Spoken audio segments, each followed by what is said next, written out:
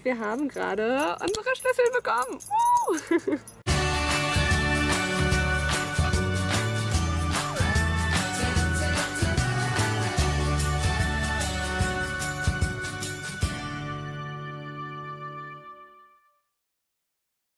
Guten Morgen zusammen. Heute ist Montag, der 28. Mai und wir haben gerade unsere Schlüssel bekommen. Uh! Und jetzt äh, schließen wir auf. Der Bauleiter ist gerade gefahren. Los geht's. Ich stecke ihn rein. Jens. Ich drehe ihn um. Uh, sieh's aus. Das war nicht abgeschlossen. Wäre viel cooler gewesen. Ne? Ach so, musst du. Das nur abschließen fürs Video. Okay. Yay, jetzt gehört richtig uns. Wir haben noch den Briefkastenschlüssel direkt an den Schlüsselanhänger gemacht und wir haben nämlich zwei so coole Schlüsselanhänger. Jens, hallo? Ja? Ist mal fertig? Und zwar habe ich den mit dem Mannequin und Jens den mit dem Weiblein und das, äh, also weil ich habe Jens immer bei mir und er hat mich immer bei mir, hahaha, und das ist unser Haus, ja, voll romantisch. Wir sind kitschig. Das habe ich gekauft. Das ich bin ich kitschig. gekauft. Ich bin kitschig und du erträgst es. ja. So, und was machen wir jetzt? Jetzt machen wir die Küche. Was machen wir? Die Küche. Wir machen die Küche. Also, was machen wir wir? fließen die Küche, den Küchenboden. Sehr gut. Und im Laufe der Woche kommt einer von der Lüftungsfirma, der die Lüftung anschließt, weil die ist immer noch nicht angeschlossen. Und am 14. nächsten Monats kommt eine neue Fensterscheibe, weil eine kaputt ist. Da ist immer noch der Riss zu sehen. Draußen. Ja. Und die wird am 14. Juni getauscht. Und jetzt legen wir los und müssen diese schönen Fliesen hier auf diesen schönen Boden hier legen. Und am besten auch festkleben. ah, das wird so witzig. Zwischendurch haben wir jetzt schon mal angefangen, unser Bett hier hochzutragen. Ähm, das hat zwar keine Priorität, aber wir wollen zwischendurch auch mal was machen, was uns Freude macht. Und Möbel aufbauen ist eigentlich immer ganz cool. Und wenn man dann hinterher so ein schönes Ergebnis sieht. Hier liegt die Matratze, ist ja ein Boxspringbett mit Topper. Und das Kleinzeug. Ja, Jens liest gerade die Anleitung. Und dann fangen wir an.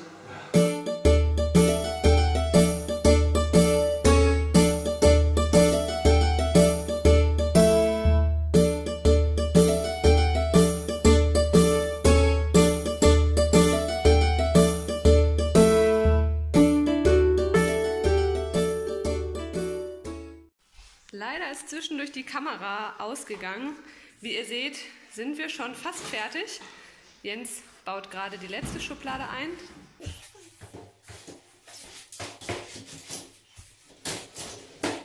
So, das Bett steht. Jens liegt schon mal Probe.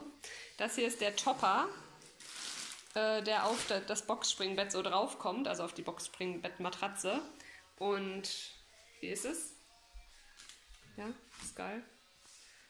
Ah, ich möchte mich auch mal hinlegen. Ja, guck mal hier. Wir haben auch schon die Seiten geklärt. Das hier ist meine Seite und das ist. Meine Seite. Ja. Ah. Ah, die ist echt ganz schön bequem, oder? Gute Nacht.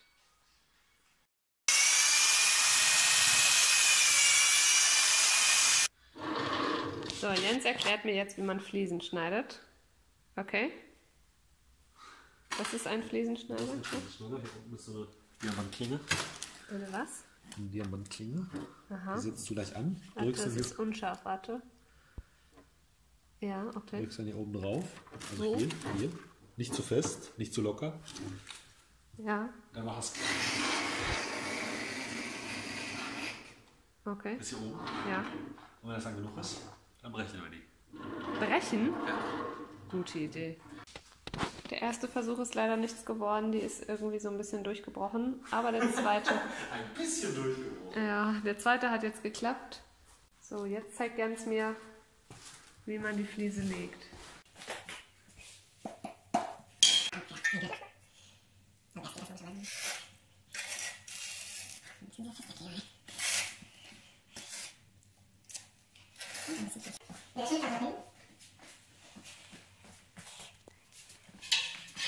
Das ist nicht nur ein Bruchkante, ja? Du legst sie ganz nah dran und ganz nach hier dran. Also ganz nach hier, ganz nach hier. Fallen lassen, genau. Jetzt müssen wir die gleich ziehen und runterrücken. Ich hole Holze und den ne?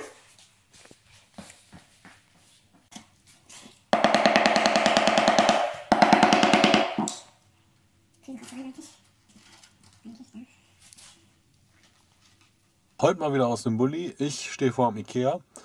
Werde heute Lampen holen, weil es doch schon ab und zu mal ein bisschen dunkler wird und wir haben erstmal nicht Baufassung überall reinzumachen. Machen wir nicht.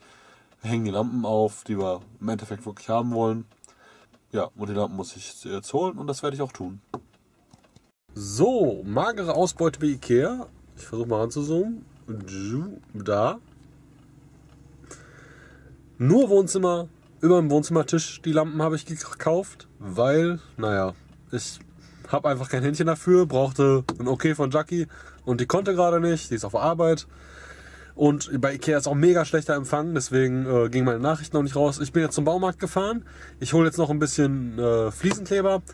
Fahre dann nochmal zurück zu Ikea, denn mittlerweile hat Jackie angerufen und hole die restlichen Lampen. Guten Morgen zusammen. Heute ist Freitag, der 1. Juni und wir sind jetzt auf dem Weg zum Küchenstudio. Heute können wir nämlich unsere Küche abholen. Uh. Und Jens ist voll begeistert. Was? Hä? Oh, da kommt Ines.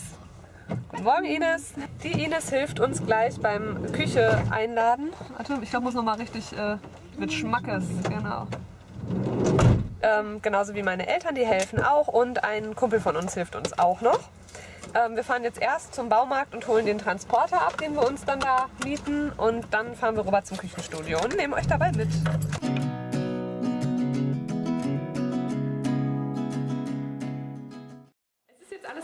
Abgeholt und steht in unserer Küche. Die Männer packen gerade die Schränke aus. Und sie ist wunderschön in diesem Grünton, oder? Was sagst du? Ja, mit Rondell, das habe ich mir ausgesucht. Das ist teuer. Ja, natürlich ist das Einfach teuer. Einlegeböden. Kannst da reinkrabbeln. Ich habe das ausgesucht, weil wir noch Geld über hatten. So. Ja, nein, das haben wir ja kostenlos dazu bekommen. So. Hier, der erste Schrank steht schon so, wie er soll und die Spülmaschine auch. Das ist jetzt der Eckschrank, der ganz in die Ecke muss und dann kommt der nämlich dazwischen, das ist der Spülenschrank. Und ähm, ja, Ja, ich komme auch nicht Komm, wir machen Füße runter. Die Männer heben den Schrank hoch. Mama und Ines machen die Füße drunter. Knie drunter. Richtig feste rein, drücken einfach, gegenhauen von der Seite. Ja. Sind es fünf? Schatz, sind fünf?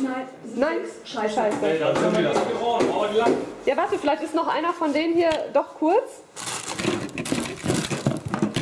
Nö, ne? Die sind alle lang. Schritte. Wir haben das fehlende kurze gefunden. Es müssen nämlich sechs kurze da drunter. Und wir hatten plötzlich nur fünf, aber das sechste war schon hier drunter gebaut. Ähm, und das mussten wir jetzt hier wieder rausmachen und gegen ein langes tauschen. Und jetzt haben wir alle passen. Jetzt müssen die langen Beine wieder raus. So, sag dem, du musst jetzt den Wischer hier noch einmal runter herwischen. Ja, ich hole den Wischer. Wo ist der Wischer? Da ist der Wischer. Hast du auch ein Foto dabei? Komm mal, bei dumme Kommentare. Dobby, Füße rein. So Spaß hier hast. Ja, wenn ich Noch fünf Minuten. Das schafft Ich schaff das schon. Eine Stunde ihr noch halten. Noch ein bisschen. Also Jackie, noch so ein bisschen, ja, ja, noch so ein Richtig, bisschen. ey. Dobby, hochspringen jetzt. Ich hab Politur jetzt noch aufbringen. Ja, lass uns. Und der hier ist in dazwischen. die Ecke rein, habt ihr aber gut ausgemessen, ne? Hier, Das haben wir ja gar nicht ausgemacht, haben wir geschätzt. Das hat der Küchenbauer gemacht. wartet, Vorsicht, ich gehe nochmal kurz wischen. Und der kommt dann jetzt hier hin. Warum ist die Küche grün, Jackie? Was hast du da bestellt? Das ist wunderhübsch, dieses Grün, finde ich. Ja, das lassen wir so. Auch die Nummern da So, dran. dann kriegen wir die Füße an den Finde ich klasse. Noch, ne? Ja, ein bisschen Hier geht es schon so ein bisschen ab. So wird unsere Farbe. So. Okay. Vielleicht die Foto machen.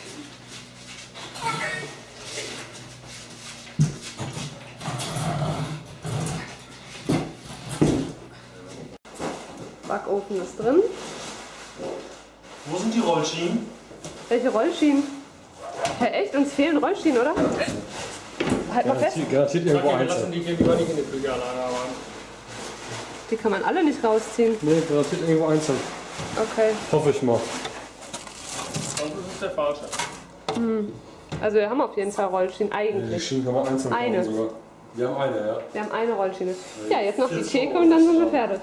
Ja, Das ist unsere so. Küchentheke. Hier kommen Stühle hin und dann kann man hier dran sitzen. Die Küche steht. Hier ist unser Backofen. Daneben ist. Weiß ich nicht. Ah ja, genau. Das hier ist der Mülleimerschrank. Dann ist da ein Besteckschrank oder sowas, also einfach ein Schubladenschrank. Das ist so ein cooles Rondell, das ich euch jetzt gerade nicht zeigen kann, äh, weil äh, wir haben gewischt und ich will jetzt nicht mit meinen dreckigen Schuhen da durchlaufen. Da ist der Spülschrank, da ist die Spülmaschine, die noch höher gemacht wird. Ähm, da ist nochmal so ein Schubladenschrank und das sind auch zwei Schubladenschränke, auf die eine Platte kommt und eine Rückwand und dann können wir da dran sitzen. Und da sind Jens und Ines. ja, und hier kommt dann unser Kühlschrank hin und das hier sind, weiß ich gar nicht, irgendwelche, Eins wird die Rückwand sein. genau, irgendwelche Rückwände, Rückwände, Hängeschränke haben wir auch noch zwei Stück. Das ist der da und der da. Und dann haben wir noch unsere Dunstabzugshaube und das Ceranfeld und das ist die Arbeitsplatte und da hinten ist die andere Arbeitsplatte. Ja. Das ist die Arbeitslose. Und das baut Jens morgen auf, ne? Ja. Super! Beispiel zweimal Wehe, der. Auszug ist nicht da. Welcher Auszug? Für den Backofen. Ja, wir wollten ja beim Backofen so, so Rolldinger haben, dass man das Blech so rausziehen kann, aber da war jetzt nichts, jetzt nicht zumindest im Backofen selber. Also vielleicht liegt es noch irgendwo in diesen ganzen Tüten Ja. oder Kisten. Aber wenn nicht, dann gibt es Schläge. Mal nach. Genau. Hi zusammen, es ist jetzt abends. Wir haben heute die Küche geschafft aufzustellen. Ich weiß gar nicht, ob ich euch das Endergebnis gezeigt habe, aber es sieht sehr schön aus. Also wir haben sie geschafft, an jedes Ding an seinen richtigen Platz zu stellen. So, und morgen wird die natürlich dann noch letztendlich richtig aufgebaut, die Arbeitsplatte zugesägt und so weiter. Das zeige ich euch dann morgen. Wir haben auch in den letzten Tagen mega viel gemacht und äh, ja, ich habe es irgendwie überhaupt nicht geschafft, immer zu filmen, äh, vernünftig. Ich zeige euch also morgen einmal dann, was wir in den ganzen letzten Tagen so gemacht haben. Jetzt nur eine Kleinigkeit. Äh, und zwar habe ich gleich ein kleines Geschenk für Jens und äh, das wollte ich euch einmal kurz vorher erzählen und dann filme ich auch seine Reaktion. Und zwar hat er ja so ein komisches, ähm, wie heißt das? Oh, verdammt, eine äh, ne, ne Bohrmaschine, Schlagbohrmaschine. Äh, ja, ich glaube irgendwie so. Und ähm, die war kaputt, also die gehört seinem Vater und die hat einen Wackelkontakt. Ähm, wartet, ich gucke mal eben ganz kurz nach, wie das Ding heißt, was ich ihm jetzt gekauft habe. Und dieser Wackelkontakt ist halt mega nervig, ähm, weil ja, dadurch äh, funktioniert das halt irgendwie gar nicht vernünftig, wenn er dann was umrühren will. Also mit dieser, wie hieß das, was er vorher hatte? Ich glaube, Schlagbohrmaschine hieß das, was er vorher hatte. Und da steckt man dann so einen Pin rein und den kann man so als Rührstab benutzen. Und das ist so praktisch für den Fliesenkleber. Allerdings ist der Rührstab zum einen sehr klein. Und das ganze Ding hat halt eben durch den Wackelkontakt auch, das hört einfach zwischendurch auf, ist mega nervig.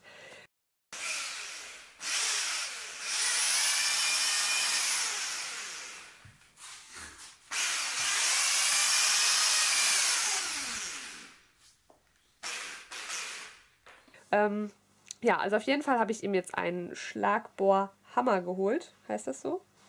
Nee, also einfach nur ein Bohrhammer, nicht Schlagbohrhammer, einfach nur Bohrhammer.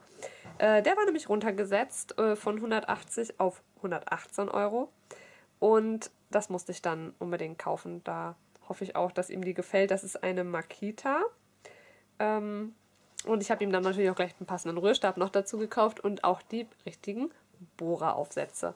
Äh, so, auf jeden Fall habe ich mir jetzt überlegt, er hatte mich nämlich gebeten, dass ich ihm für diese kaputte Schlagbohrmaschine, die er hat, mal einen neuen Rührstab im Baumarkt besorge. Allerdings passt der Rührstab aus dem Baumarkt nicht auf die Makita, auf die neue. Und da hatte ich die schon bestellt, also habe ich ihm natürlich diesen Rührstab jetzt nicht gekauft. Jetzt habe ich aber ja einen Rührstab für die neue Makita geholt. Der ist hier in diesem Karton. Und jetzt werde ich das gleich so machen, dass ich ihm den zeige und sage so, hier, ich habe den für dich bestellt, du wolltest doch einen größeren so einen, so einen ne, Aufsatz zum, zum Umrühren. Ähm, und dann wird er wahrscheinlich, hoffentlich feststellen, dass es der falsche Aufsatz ist, also dass das auf seine Schlagbohrmaschine ja nicht drauf passt. Und dann gehe ich rüber in den anderen Raum und da habe ich dann den äh, Bohrhammer äh, versteckt und den hole ich dann und sage so, ach ja, dafür brauchst du ja auch noch das hier. Und dann halte ich ihm das hin und her. Ich filme das alles, ich, also ich hoffe, dass er das nicht merkt, dass ich filme. Das wäre natürlich ein bisschen cooler. Ja, jetzt muss ich ihn gleich abholen, so in 15 Minuten fahre ich los und dann werdet ihr es ja gleich sehen, ob er sich freut oder nicht. Und ja.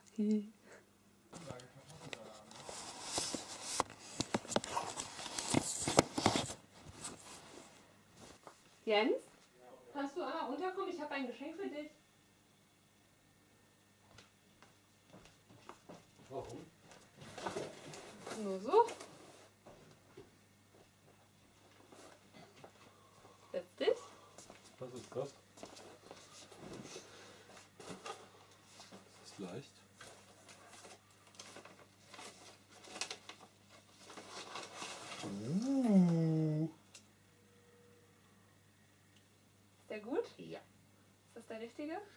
Schnellspannfutter, aber das ist egal. Warum?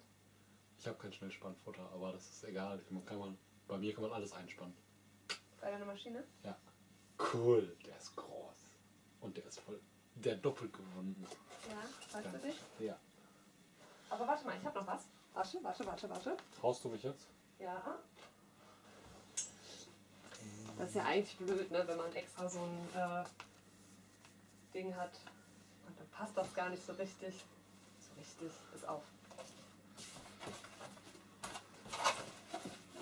Bist du doof? So ein Schatten oder was? Ist das doof? Du hast ja noch gar nicht geguckt. Du weißt ja gar nicht so richtig, was das ist.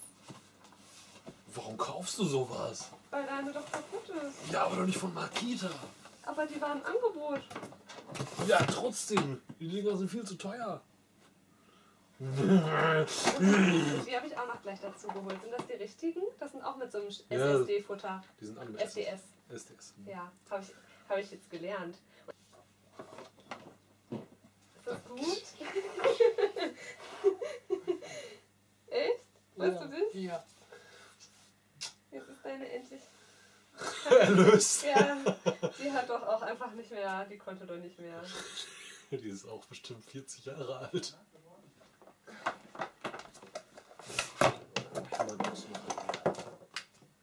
Okay, jetzt. Die Fuhr, Cool. ja? Ja? Das ist jetzt ganz allein deine und die hat keinen Wackelkontakt. Überraschung gelungen. Ich hoffe, man hat es überhaupt gesehen, weil ich weiß nicht, ob die Kamera das richtig gefilmt hat. Aber er hat sich auf jeden Fall gefreut, oder? Ja. Ja? So ist mehr Sound. Das macht mich ganz schön heiß. Oh, ich muss das mal ausprobieren. Ziehen ja bald aus. Findest du nicht auch, dass hier ein Durchbruch hin muss?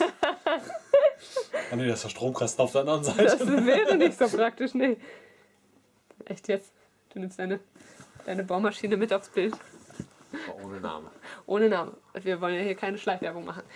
Also, das war unsere ereignisreiche Woche. Wir haben super viel geschafft. Wir haben das Schlafzimmer fertig gekriegt. Ähm, die Küche gefliest. Abgeholt zum. Oh, genau. Genau, die Küche gefliest, abgeholt und soweit hingestellt. Das Wohnzimmer zwei Drittel gefliest und ähm, das Gästezimmer auch noch gestrichen. Ja. Also es war echt eine krasse Woche. Ähm, ich mache jetzt Schluss an dieser Stelle. Ich wollte euch ja eigentlich noch mal zeigen, wie der Rest alles geworden ist, aber dann wird das Video wieder zu lang. Das mache ich dann nächste Woche. Ähm, ich schneide heute Abend das Video und dann kommt es morgen hoffentlich online. Und dann nehmen wir euch dann eben Zeigen wir euch die Küche, wie sie aussieht. Genau, das zeigen wir Fertig. euch dann eben im nächsten Video, weil das wird sonst wieder alles zu lang jetzt hier und Und dann zeige ich euch, wie man richtig bohrt. mit diesem Ding hier. okay, dann äh, ja, war's das. Wisst ihr Bescheid, ne? Hier oben. Abo. Genau. Falls ihr Lust habt, äh, in der Zwischenzeit unsere Videos zu sehen, hier ist das letzte davon. Und dann bis nächste Woche. Jo. Tschüss. Haut rein.